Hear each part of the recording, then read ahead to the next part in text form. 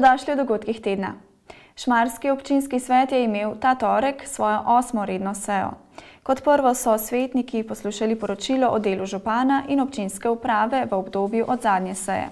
Župan Rajko Meserko je povedal, da je bilo to obdobje izjemno polno dogodkov in dela.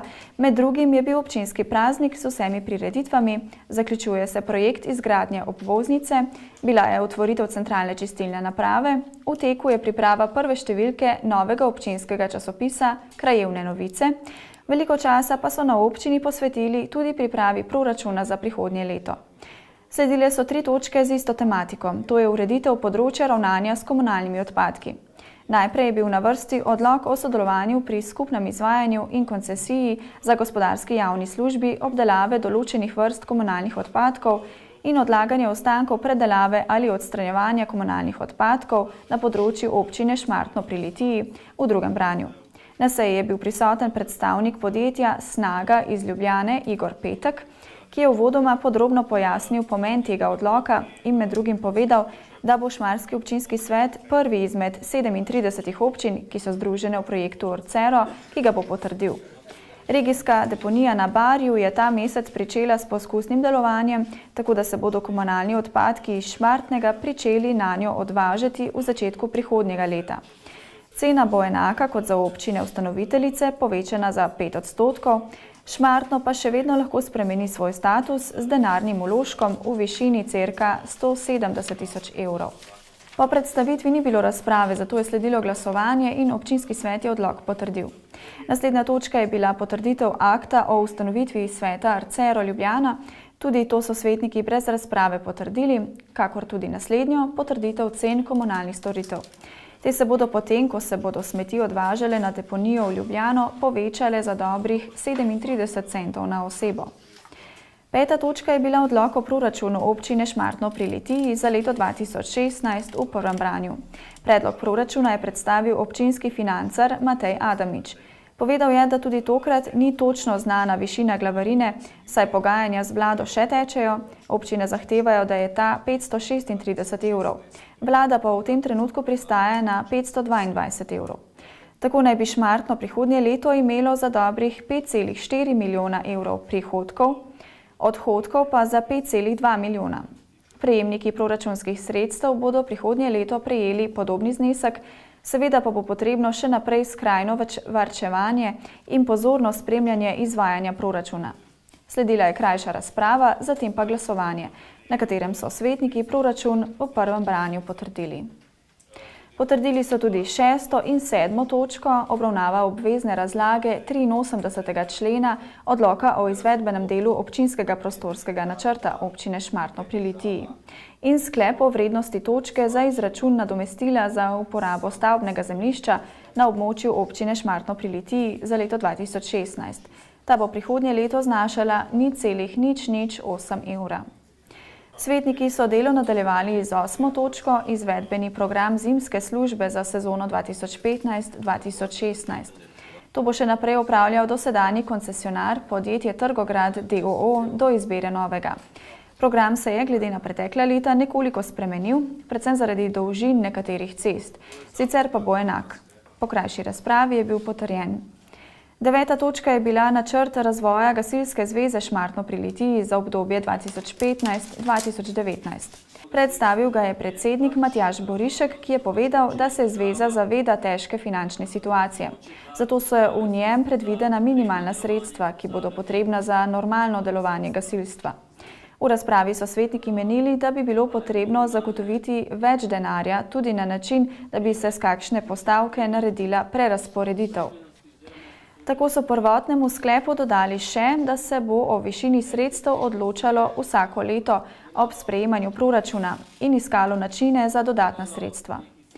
V nadaljevanju seje so svetniki potrdili tudi programsko schemo občinskega glasila Krajevne novice, sklep o ukinitvi javnega dobra in posamični program ravnanja s stvarnim premoženjem. 13. točka je bila kadrovske zadeve. Občinski svet je potrdil Simono Kovač, Marijo Vidgaj in Janka Končarja za kandidate za sodnike porotnike.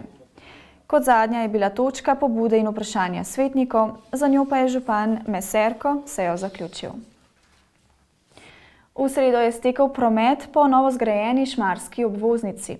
Ta dan bo zagotovo upisan z velikimi črkami v zgodovino šmartnega pri Litiji, saj je bilo od ideje in želje potrebnih več kot 50 let, da je bil zgrajen ta prepotreben infrastrukturni objekt.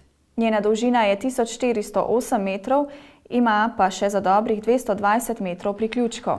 Šmartno je z njo dobilo ne samo boljšo prometno varnost, ampak tudi novi in lepši izgled – Nova prometna rešitev pa je velikega pomena tudi za nastajajočo obrtno poslovno cono na prostoru bivše usnjarne.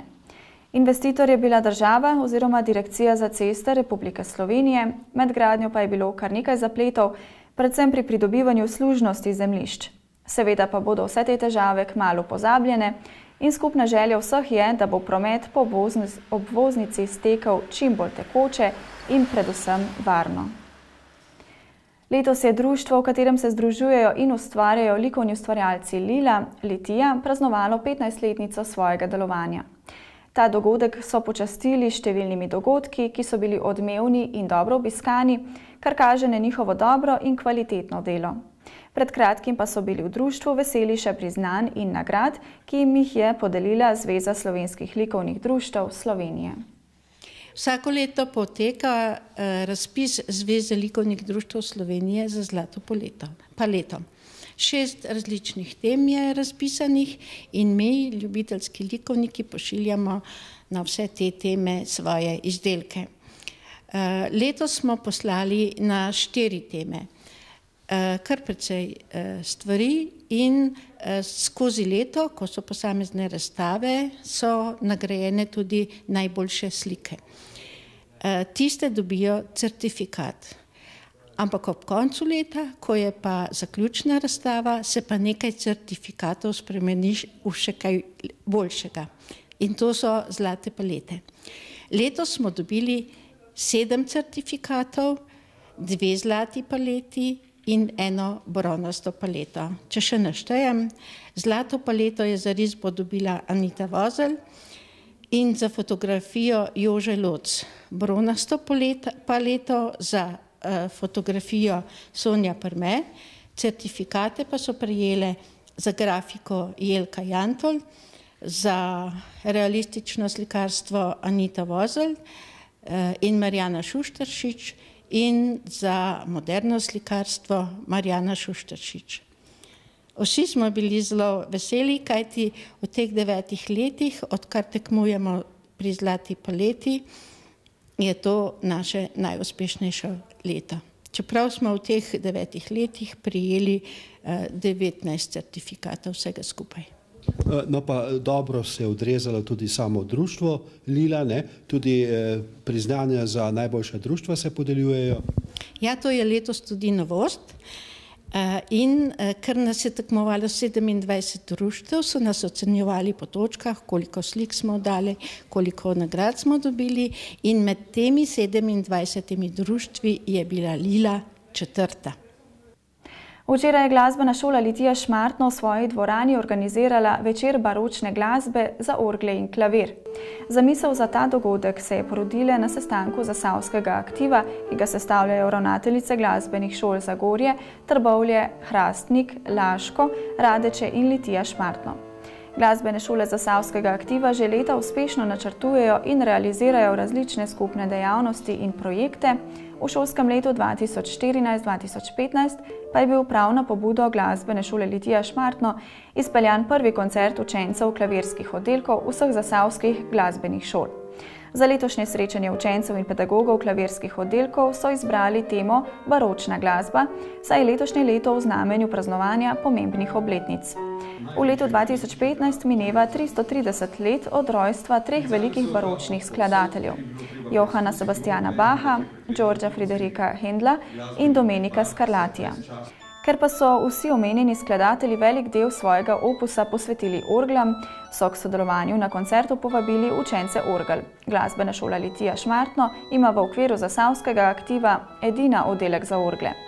Bogat glasbeni program, ki so ga izvajali izvrstni mladi pianisti in orglavci, so poprestrili zvezno besedo, ki je poslušalcem predstavila pomembno glasbeno obdobje barok.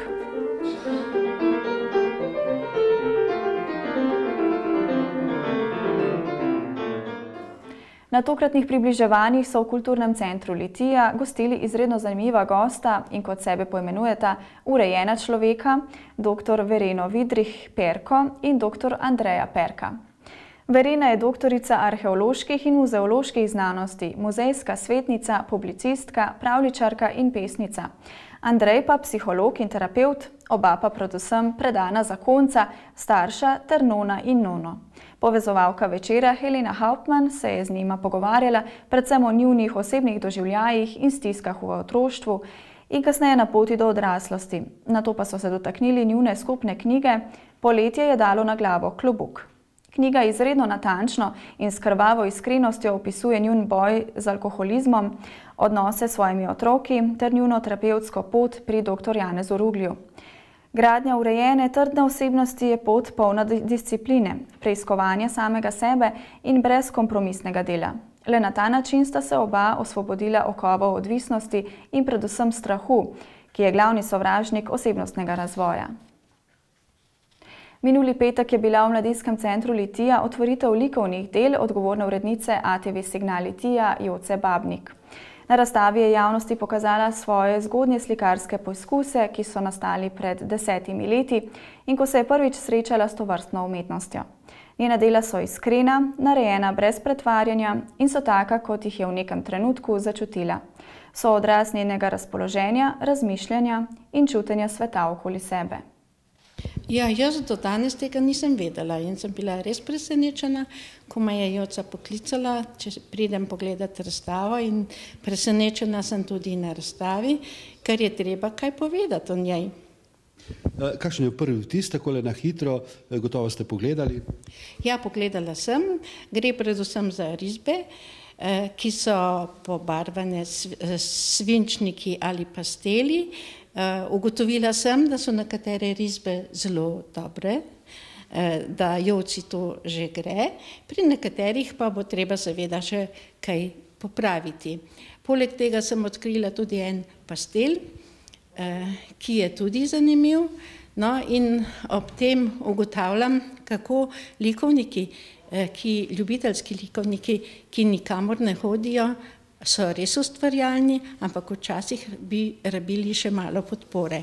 Joca bi rabila še malo teorije, tako da bi lahko slike še osenčila, da bi poiskala globine, da bi se barve tudi drugače prelivale in eh, tisto, kar nam je vedno rekel Jože, naš mentor Meglič, kilometrino moramo nabirati. Ne? In kilometrina ti prinese, da lahko začneš delati na večjih formatih in tudi druge tehnike. In to joci želim in se ji zahvaljujem, oziroma sem vesela, da se je predstavila v javnosti.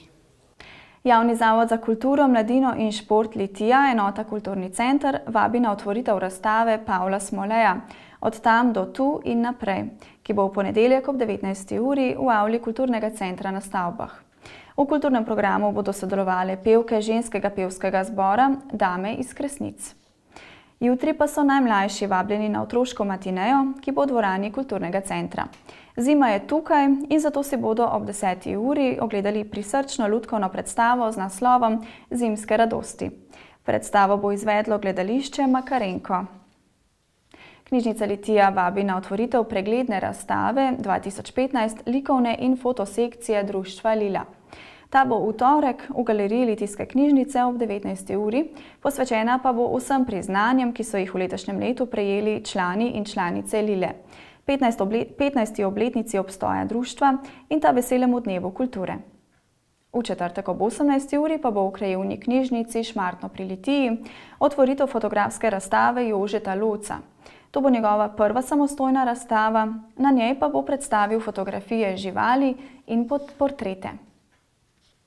Vrtnarija in cvetličarna Klinc ter zeliščna kmetija Hanuman vabita na decembrsko predavanje in delavnici v vrtnarijo in cvetličarno Klinc.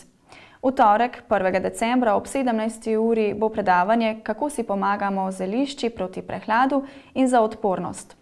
8. decembra ob 17. uri bo delavnica, kako si pripravimo naravna zeliščna mazila in kreme. In 15. decembra ob 17. uri, kako lahko izdelamo naravna mila po hladnem postopku. Etnološko društvo Jurija Humarja iz Primskovega vabi na slovesno predstavitev knjige z naslovom Rastoča knjiga Primskovo. Prireditev bo v nedeljo 6. decembra ob 10. uri v kapeli svetega Nikolaja na Primskovem. Slavnostni govornik bo magistr Igor Teršar. V programu bodo sodelovali otroci vrtca Sovice, učenci osnovne šole Šmartno in podružnične šole Primskovo, skupina Prima Vox in ženska vokalna skupina Gartrošce. Toliko za nocoj, nasvidenja do prihodnič.